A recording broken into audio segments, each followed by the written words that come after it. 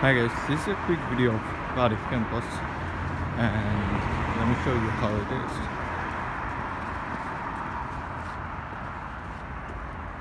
So this is the road in front of the University of South Wales Cardiff campus and this is the entry door.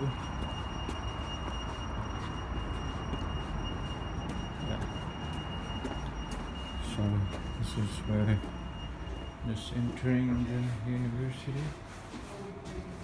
And this is how it looks like.